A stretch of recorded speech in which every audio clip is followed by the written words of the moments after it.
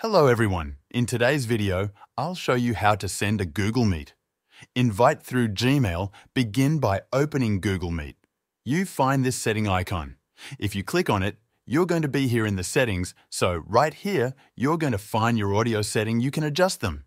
And here, you can adjust your video settings. Lastly, right here, you're going to find your general setting. Now, selecting the New Meeting option. From there, you can choose to create a meeting for later, start an instant meeting, or schedule one in Google Calendar. If you select the option to schedule in Google Calendar, a form will open where you can enter all the necessary details, such as the meeting title, date, time, and optional description. You can also set a location, adjust notification preferences, and customize other settings. In the Guests section, add the email addresses of the participants, which will automatically send them an invite via Gmail. You can also modify guest permissions, such as allowing them to make changes to the event, invite others, or view the guest list. Once all the information is added, click Save to finalize the meeting.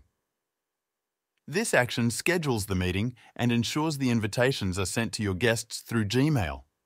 If this video helped you out, feel free to buy me a coffee using the link in the description. This will support the channel so I can keep making more videos like this.